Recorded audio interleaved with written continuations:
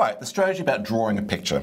When one goes to high school work, one often gets involved in very analytic techniques about solving equations, grinding through algebra, working with formulas and so forth.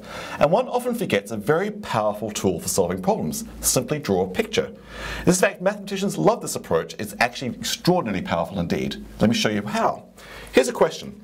How many solutions are there to 10 equals a plus b plus c, where a, b, and c are each whole numbers bigger than or equal to 0? So they're counting numbers and I'll also count, include 0. For example, I could have a 8 plus 1 plus 1, or 9 plus 0 plus 1, and so on. How many solutions are there? Well, this doesn't seem like a picture problem at all. But let me do the following. Let me, let me draw a picture of the solution 8, 1, 1. In fact, I'll draw 8 dots uh, the hard part's actually counting to 8, I think that's 8, and 1 dot and 1 dot. Bingo, there's that solution. In fact, notice I put little spaces here. But let me actually draw my spaces with solid dots.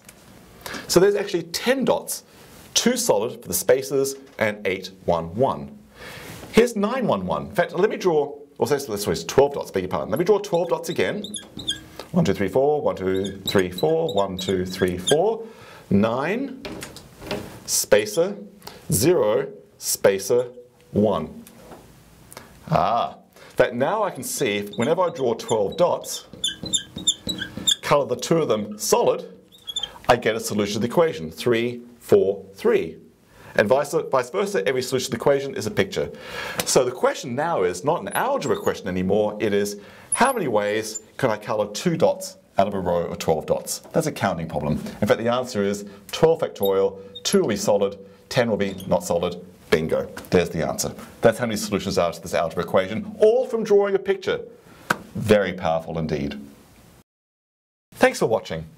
For more curriculum inspirations material, go to our website. Lots of great stuff there.